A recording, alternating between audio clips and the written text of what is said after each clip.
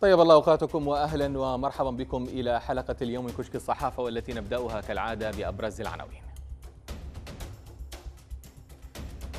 موقع أخباري يتساءل من يعرقل جهود الرئيس هادي في ضبط الأمن بالعاصمة المؤقتة.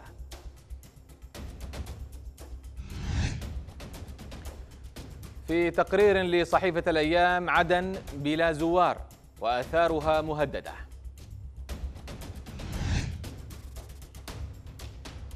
ومن الجزيرة نت انتحار مواطن يمني بسبب قرارات الرئيس الأمريكي ترامب.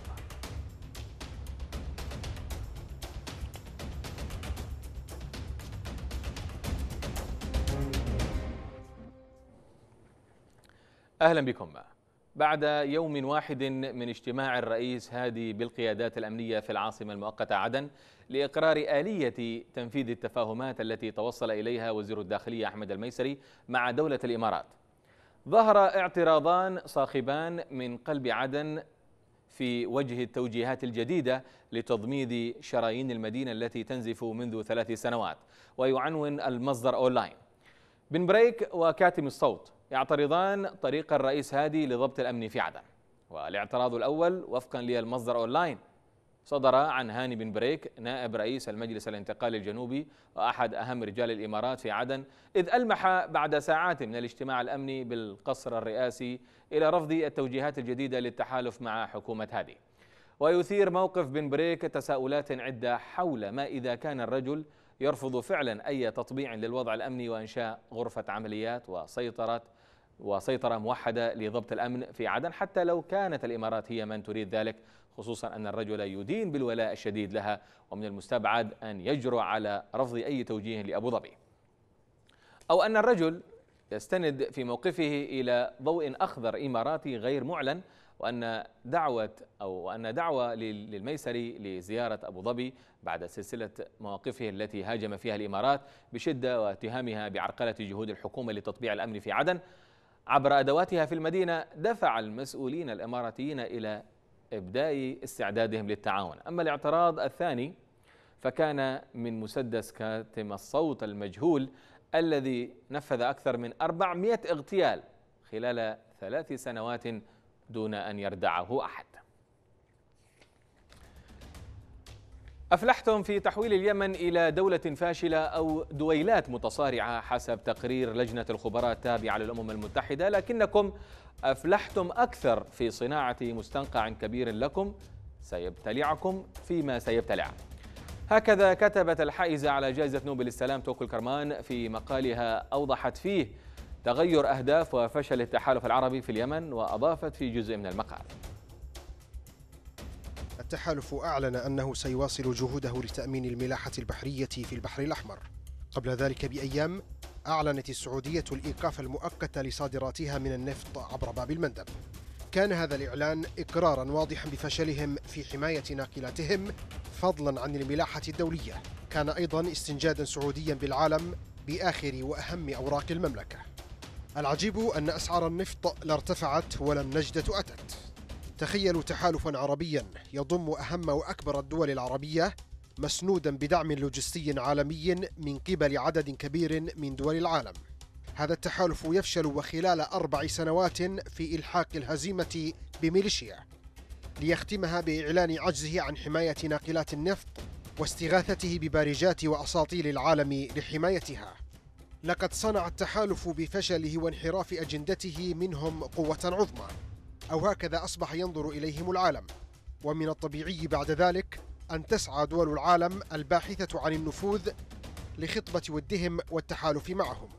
قدم التحالف للحوثيين هدية أخرى حين فشل فشلا ذريعا في ضبط الأمن في المناطق المحررة من سيطرة الحوثيين والتي عوضا عن إقامة وتفعيل مؤسسات السلطة الشرعية فيها سلمت للجماعات والميليشيات المسلحة الموالية للتحالف والمعادية للشرعية.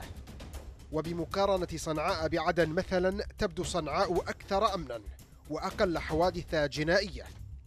جميعكم تتحركون خارج الشرعية ودون مشروعية. هذه هي الخلاصة التي وصل إليها المجتمع الدولي وسيصل إليها كل منصف. هذا الفشل هو ما أراده التحالف وخطط له منذ رعى الانقلاب عن طريق عميلهم المخلوع علي صالح وبطرق أخرى. مرورا بإعلان التحالف الحرب في اليمن حين قال إنه تدخل لإعادة الشرعية لكنه أدارها بطريقة تضمن عدم عودة الشرعية مطلقا. تنشر صحيفة الأيام تقريرا خاصا عن المناطق الأثرية المهددة في عدن والتي فقدت كثيرا من أجزائها وعنونة الأيام. معالم عدن ماض عريق وواقع وواقع يحتضر. وقالت الصحيفة الصادرة في العاصمة المؤقتة عدن تمتلك مدينة عدن حضارة ومعالم ضاربة جذورها في أعماق التاريخ فضلا عن تميزها بموقعها الاستراتيجي الهام الذي أضفى عليها أهمية أخرى جعلها محط أنظار العالم أجمع منذ القدم. وتضيف الصحيفة مؤخرا تعرضت أبرز معالم عدن التاريخية للهدم أثناء احتلال قوات الحوثي وصالح للمدينة وللخراب والبسط العشوائي من قبل مواطنين غير واعيين لفداحة ما يقومون به مستغلين غياب الحماية لها من الجهات المعنية. ونتيجة كما تقول الأيام تشويه وطمس وتدمير ونهب وبناء عشوائي على أكثر وعلى كثير منها وفي مقدمتها صهريج عدن. تاريخية الأمر الذي سيترك هوة كبيرة بين ماضي هذه المدينة العريق ومستقبلها القادم. في الوقت الذي قد أثر كثيرا على حاضرها والذي لم يعد يشاهد فيها أي من السياح الذين اعتادت أن تستقبلهم في كل وقت وحين. الكل يشتكي من إعلان الشرعية بأنه ضعيف أو من إعلام الشرعية بأنه ضعيف ولا يواكب الانتصارات. ولكن لا أحد يسأل ما الذي تقدمه الشرعية للصحفيين في الجبهات؟ هكذا يكتب من جبهة البيضاء الملاجم المصور الصحفي سليمان النواب شارحا الوضع الذي يعمل فيها الصحفيون في الجبهات وهم يوثقون لأهم مرحلة من تاريخ البلاد ويضيف في فقرات من المقال. من بعد استهدافنا في قانية قبل ثلاثة أشهر أشعر أنني تقدمت في العمر ثلاثين سنة وبينهما ليال كلها كوابيس ورعب بعد أن تم ضربنا بالصاروخ وأثناء نقلنا على سيارة إسعاف عطشت عطشا شديدا ومع الطريق نسيت العطش. ولما وصلت للمستشفى سألني الزملاء كنت قد شربت ماء أو أكلت سكريات من أجل سلامة الكبد؟ ومع الخوف والهلع لم أشرب إلا بعد خمس ساعات من الحادث. الكثير نصحني بإجراء فحص طبي لوظائف الكلى بعد الحادث ولكن لأن لا أحد من المسؤولين اهتم بنا فلم يتم الفحص ولم أسأل أحد. المؤلم أيضا أنه بعد وصولنا المستشفى كانت إدارة قناة بلقيس وهي من شباب على اتصال مع الزملاء الذين استهدفوا معنا لتسفيرهم للخارج للعلاج وأنا الوحيد الذي لم يسأل أحد عني. إلى اتصالات الزملاء والأحبة الذين فجعوا علينا وتواصلوا معي ليطمئنوا عني. يعتقد الكثير أننا نتلقى دعما من القيادات العسكرية في جميع الجبهات وأننا لا نتحرك إلا بمبالغ مالية كبيرة قابل تواجدنا في الجبهات للتصوير. الحقيقة التي لا يعرفها الناس ولا يعرفها كثير من الزملاء والمتابعين أن لا أحد يهتم بنا ولا يعرف أحد ماذا نواجه من صعوبات من خلال تنقلاتنا للجبهات ذهابا وإيابا؟ وأننا ندفع قيمة المواصلات من جيوبنا. نحن بالكاد نكافح من أجل تأمين الإيجار والمصروف اليومي والعلاج. ومع ذلك إيماننا الكامل بأن النصر الذي يتحقق على يد أبطال الجيش الوطني لابد له من نصر إعلامي ولا بد للإعلام أن يواكب هذه اللحظات التاريخية. ونحن نرى أن التاريخ يزور ونحن موجودون فكيف إذا غبنا وإيمانا منا بهذا سنظل باقين على الدرب الذي ارتضيناه لأنفسنا.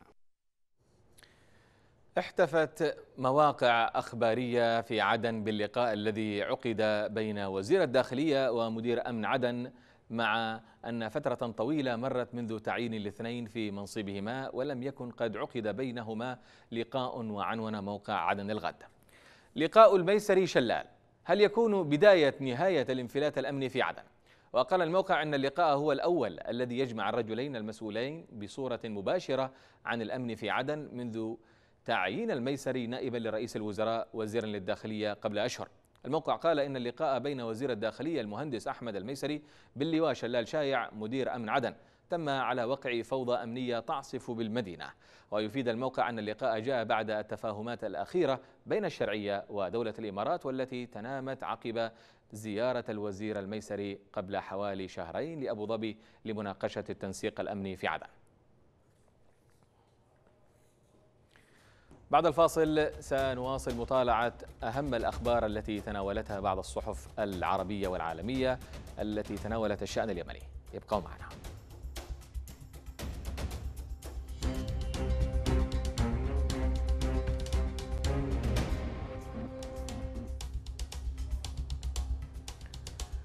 مستمرون معكم في مطالعة أهم الصحف التي تناولت الشأن اليمني سواء عربية أو عالمية. ونبدأ من أص... نبدأ من العرب الجديد نقلا عن رويترز لهذه الأسباب.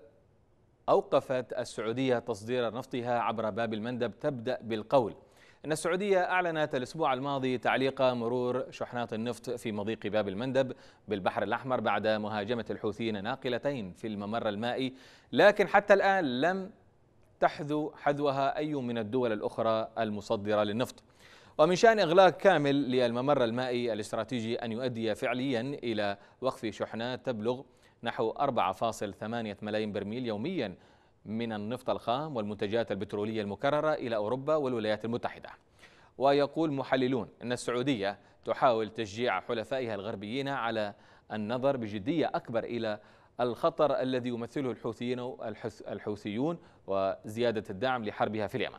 وقال سداد الحسيني وهو مسؤول تنفيذي سابق في أرامكو السعودية ومستشار للطاقة حاليا بدلا من السماح لهذه التحركات العدائية بأن تمر من دون أن يلاحظها العالم فإن السعودية تضع ما تقوم به إيران من تخريب للاقتصاد العالمي بأسره تحت أعين الجميع. وتضيف الصحيفة تعليق الشحنات السعودية مع التهديد الضمني بارتفاع أسعار النفط ربما يهدف أيضا إلى الضغط على الحلفاء الغربيين الذين ما زالوا يدعمون الاتفاق النووي مع إيران بعد انسحاب الولايات المتحدة منه لاتخاذ موقف أقوى ضد برنامج الصواريخ البالستية الإيراني ودعم الجماعات المسلحة في المنطقة. في عنوان بارز جاء في موقع الجزيرة نت تحدث حول مواطن يمني وقال العنوان انتحار يمني بسبب قرارات ترامب. وأفادت مصادر إعلامية أمريكية بانتحار مواطن أمريكي يمني بعد أن منعت عائلته من الحصول على تأشيرات بموجب حظر سفر أقره الرئيس الأمريكي دونالد ترامب على سبع دول بينها اليمن. ووفقا لما نقله موقع هيل الأمريكي وعلى الرغم من أن أصغر ثلاثة أصغر ثلاثة أطفال لمحمود سالم آه، مواطنون أمريكيون فإن زوجته وأكبر اثنين من أولاده لا يحملون الجنسية الأمريكية وقد حرمتهم الحكومة الأمريكية من دخول البلاد بموجب القرارات أو قرارات ترامب. وذكر الموقع أن محمود سالم اتصل بعائلته التي كانت تقيم في جيبوتي يوم الثامن عشر من يوليو الجاري ليقول لهم وداعا. وقال شقيقه ميمون سالم الذي يعيش في ميشيغان أن منع عائلته من دخول البلاد تسبب في مقتل شقيقه. سيقول أن ذلك هو السبب الأول والرئيسي فأفراد أسرته لا يستطيعون إحضارهم إلى هنا وفي الوقت نفسه لا يمكنه إعادتهم إلى اليمن. وطبقا لما أوردته شبكة ان بي سي الأمريكية فإن الحكومة الأمريكية أصدرت إعفاءات لعائلة سالم من أجل السفر إلى الولايات المتحدة بعد أيام قليلة من انتحاره لكنهم وصلوا بعد فوات الاوان البنك المركزي في عدن يسعى لطباعة تريليون دولار أو عفوا لطباعة تريليون ريال خمسة أي ما يعادل خمسة مليارات دولار خلال العام 2018 بغرض استبدال النقود التالفة من جهة ومواجهة أزمة السيولة من جهة أخرى بحسب مسؤولين. كل هذا تسارع يدفعنا للتساؤل هل ثمة جدوى للإصدارات النقدية الجديدة؟ وهل تغيير العملة السائدة في ظل انقسام عمليات البنك المركزي بين صنعاء وعدن يعد صائبا من الناحية الاقتصادية؟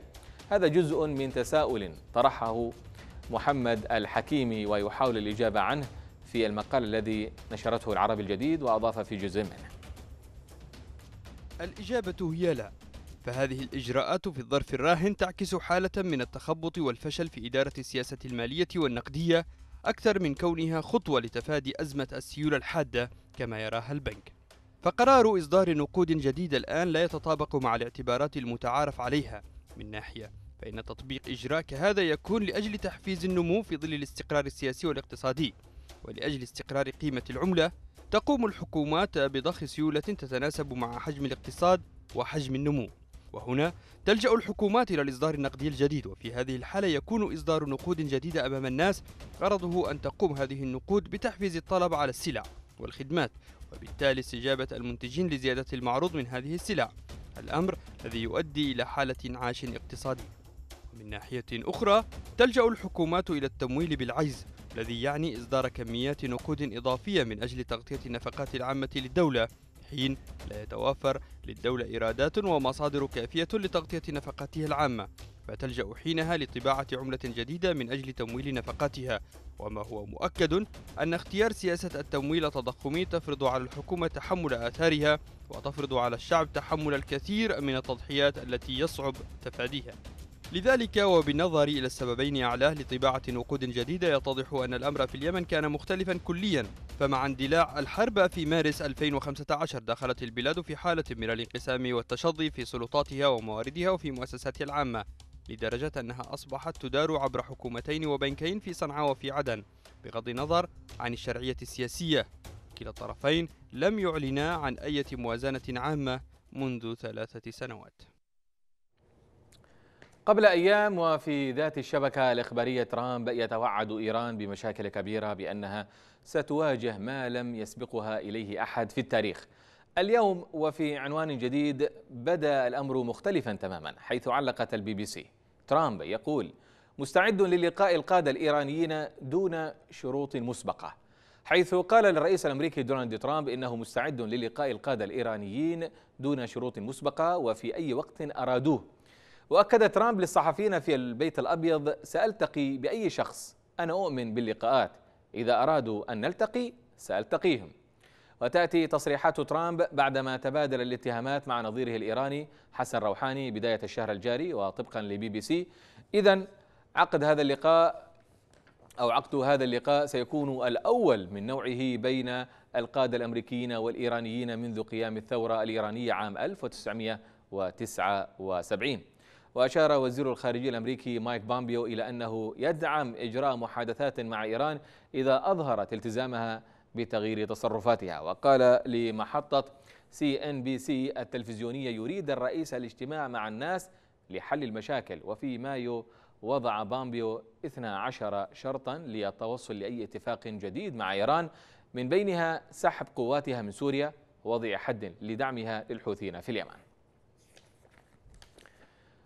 بدأ مشرعون أمريكيون تحركا لسن قانون جديد من شأنه وكما أوردت صحيفة البيان تصفية قضية اللاجئين الفلسطينيين, الفلسطينيين عبر الاعتراف بأربعين ألف من أصل أكثر من خمسة ملايين. وفيما ندد مسؤولون فلسطينيون بالتحرك مشيرين إلى أنه جزء لا يتجزأ من صفقة القرن ويتوافق مع قانون القومية العنصري. السيناتور داغ لامبروان بادر لحشد أعضاء في مجلس الشيوخ للتقديم بمشروع قانون جديد يتعلق بالمساعدات لوكالة غوث وتشغيل اللاجئين الفلسطينيين آه، أورنروا بحيث يتم اعتماد عدد جديد للاجئين الفلسطينيين الذين تتولاهم الوكالة وعليه سيتم تحديد المساعدة المالية وفقا لعدد هؤلاء اللاجئين المعترف بهم رسميا. في المقابل ندد أمين سر اللجنة التنفيذية لمنظمة التحرير الفلسطينية صائب عريقات بالمسعى الأمريكي وقال المسعى أمر مرفوض وغير قانوني ولا يمكن أن يؤثر شيء على الوضع الراهن وهذا التحرك الذي بادر إليه النائب الأمريكي داج لامبروان جزء لا يتجزأ من صفقة القرن التي تهدف لإسقاط حق اللاجئين الفلسطينيين. وأكد عريقات أن حقوق اللاجئين الفلسطينيين محمية بموجب القرار الدولي الصادر عن الأمم المتحدة رقم 194 ولا يمكن تجاوزه ولا يحق لمجلس الشيوخ أو الكونغرس الأمريكي تجاوز القانون الدولي وفرض قوانينهما على دول العالم. صحيفة الديلي تلغراف نشرت صورا لكن هذه المرة ليست من عدسات مصوريها حول العالم بل من عدسات تليفون الآيفون وهي بروعتها تضاهي تلك الملتقطة بعدسة الكاميرا. نتابع.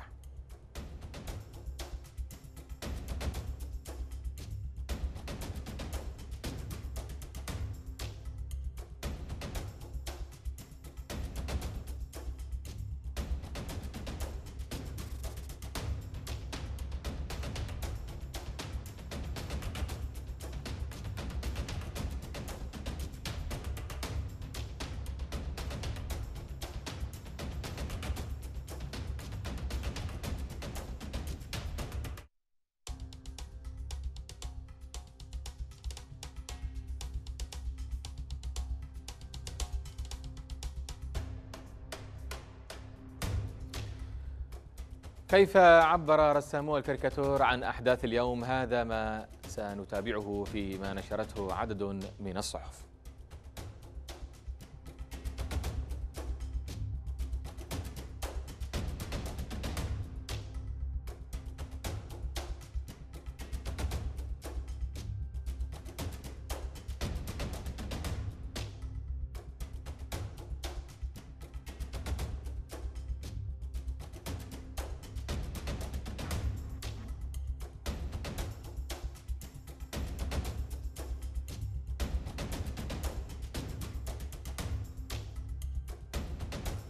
وبهذه الصور الكاريكاتورية المعبرة نكون قد وصلنا وإياكم إلى ختام حلقة اليوم من كشك الصحافة. نترككم في أمان الله.